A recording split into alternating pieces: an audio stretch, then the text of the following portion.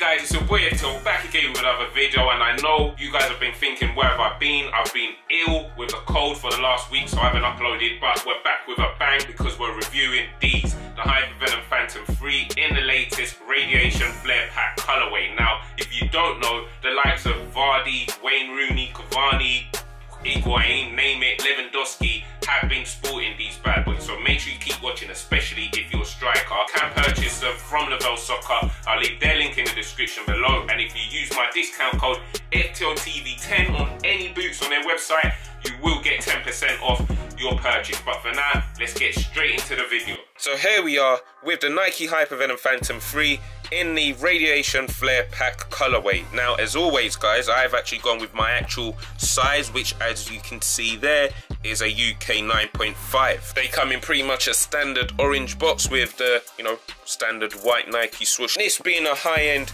Nike boot, the first thing you do actually get is a string bag, which is really cool. The actual bag itself is split diagonally into two colors. So on the left-hand side of that split, you've got Volt, um, which essentially is like a yellow color, while on the right-hand side of that split, you do then have green in a kind of diamond shaped pattern which you'll later see on the actual boots. I'll just bring it closer. The branding along the actual string bag is in hyper orange which is basically a kind of pinkish orange color and you can see that in that hyper venom lettering there and the Nike swoosh at the bottom of the bag. Strings on the actual string bag are also in that hyper orange color. So yeah it's a pretty you know vibrant colorful string bag. Definitely one I'll be looking after guys and keeping away from all those string bag thieves on the football pitch. All that's left within the actual box are the boots, so let's get them out. So here they are guys, finally the Hypervenom Phantom 3 in the Radiation Flare Pack colorway. Firstly guys, let me explain something. I know a lot of you might be slightly confused because I'm calling these the Phantom. Um, yes, the previous generation, um, the second generation of the Hypervenom the low cut boots, the ones that were shaped like these, were actually called the Phinish. However, for this new generation, Nike have decided they want to call these the Phantom and then the mid-cut boots, um, the ones obviously with the colors, the extension piece, the Phantom DF. So yeah, that's just to clarify that. Let me know your thoughts on in terms of the you know the colors Nike have used on these, the shape of the boot. Really interested to know what you guys um, think about them. Leave your thoughts, and then if you absolutely hate them, I'm also interested to know why. So make sure you get commenting, guys. The best place to start is to take a closer look at the colors that Nike have actually used on these boots. Okay guys, I think from the get-go we can clearly see that Nike have gone for a bright, vibrant, bold look for the release colorway of the Hypervenom um, third generation. They've actually gone for a kind of two color um, look along the upper. On the medial side, you have got that hyper orange. As I said earlier, it's more of a kind of pinkish orangey color um, in all honesty while on the lateral side just on the other side of that split you then have a volt color in the toe box area which then fades really nicely into green in the heel area in all honesty I wasn't a fan of these from the images that were going around on social media at the start. However, holding them in my hands, I must say I do like, you know, the combination of those two colors. Green laces there. However, on the lacing system on these loops, you've got alternating colors. So if I bring it slightly closer, hopefully it focuses, you can see on the green side, you've got pink orangey loops, while on the, you know, medial side where the boot is actually kind of orange, you've got green lace loops. So you have got alternating um, colors for the loops there, which is pretty interesting. All the branding along the upper is actually done in black. So you've got a black Nike swoosh there on the toe box. I'll just bring it slightly closer for you guys to see that. Midfoot section of the medial side, you then do have Flyknit lettering there in black ACC all condition control in black also and then lastly along the actual upper you've then got a Nike swoosh in the heel area on the lateral side. Talking about the actual upper you then actually have an alternating kind of colouring along the back of the heel. So it's pink green pink green all the way down which is really random. However it kind of works with the craziness that's going along the rest of the upper in all honesty. And to be honest as I said Wasn't a fan at first, however, it's definitely grown on me and I think, you know, majority of people will actually like it. But comment below, let me know your thoughts on that. And then moving on to the sole plate, it's predominantly black as you can see there. However, in the middle of the sole plate, you do have a Nike swoosh, which is in that um, orange color. Clear studs as you can see there and also there on the outline of the actual sole plate you can see a hint of Volt yellow there also not a color way that everyone will be absolutely crazy about but definitely it's definitely grown on me tech wise guys these boots are completely different to their predecessor the hypervenom um, Phinish 2 or even the 2.5 i've actually got a pair here of the 2.5 and side by side guys i'm sure you can make out especially with the upper it's completely different. Now to begin with guys, the upper of the Phantom 3 is actually made out of Flyknit. So we have now officially got a knitted upper on the Hypervenom line. The predecessors here were actually made out of a synthetic material. However, it's knitted here. Welcome to the future, guys. It being a knitted upper means that it's definitely going to take more to the shape of your foot. There's literally going to be little to no breaking time for these. So you can almost go straight into a match really with these on. No breaking time needed in all honesty. We do now have some crazy texturing along the upper, which I'll show you more better on this side as you can see there. And these are Poron foam. So you've got these little kind of foam pods all along the upper. All that will do, guys, is actually dampen the, the amount of pressure you feel when you make contact with a ball from a pass. So it'll actually dampen and just create a nice and better feel when you make contact with a ball from low velocity um, passes. However, when you actually strike the ball in terms of shooting, what will actually happen is that these Poron foam pods will actually firm um, and actually create a more rigid contact on the ball. The combination of the knitted material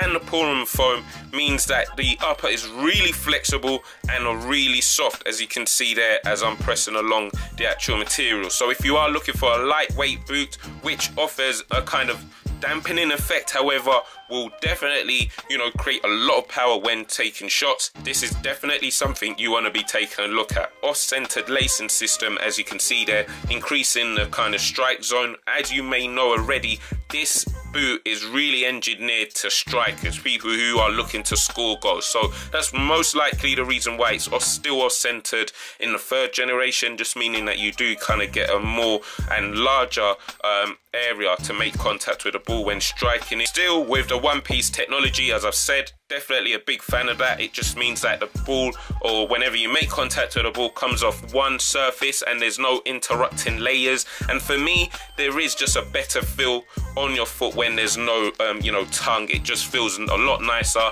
and more like a sock and not a boot, which is kind of what we all like and want on our boots nowadays. There is Flywire cabling, a lot more of it actually on the Hypervenom um, Phantom 3. There's actually three meters worth of Flywire cabling running from the laces into the sole plate on either side of the boot. And once you pull on the laces, um, what actually happens is that these Flywire cables then lock your foot in place really nicely, which is really important in the modern game as you don't want your foot sliding about within the actual boot. This being a Nike um, high-end boot, you do get ACC, as you can see there, or condition control, which essentially means that these boots will perform as well as they do in dry weather in wet weather, which is really important. And the fact that it has this texturing, you should be able to get slightly better, um, you know, kind of control and grip on the ball also slightly different to the predecessor of the Hypervenom um, Phantom 3, we have this knitted material in the tongue area.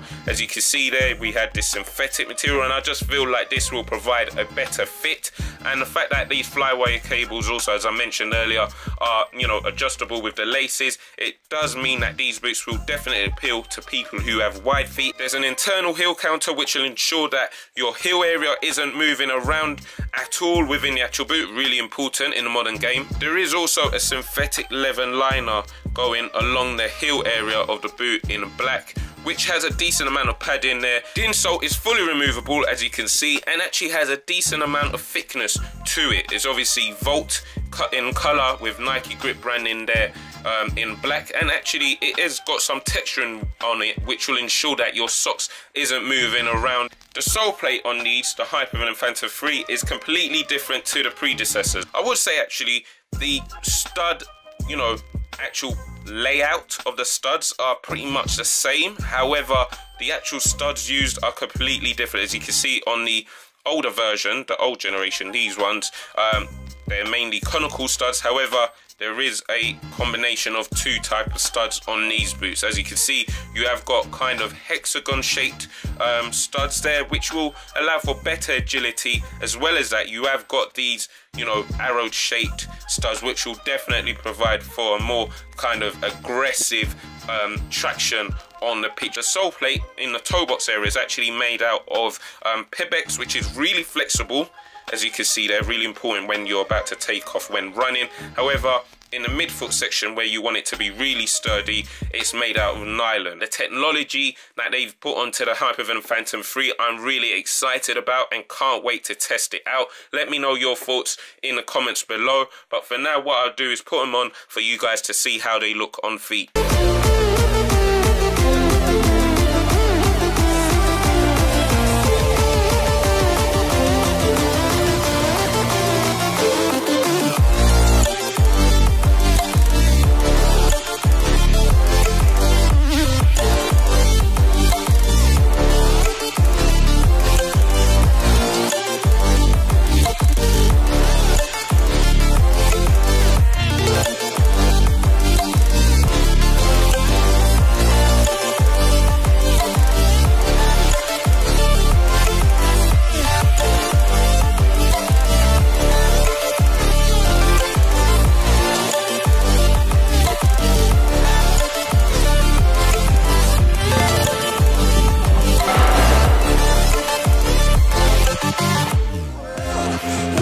So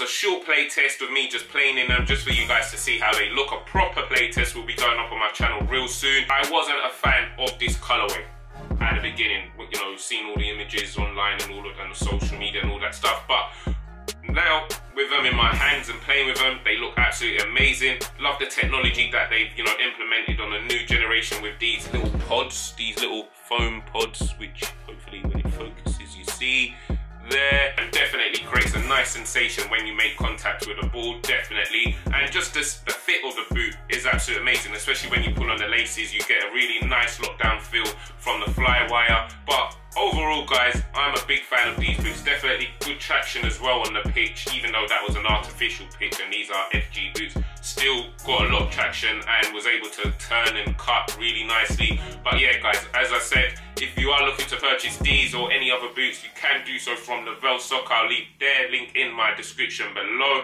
But for now guys if you enjoyed the video give it a like and also subscribe. Peace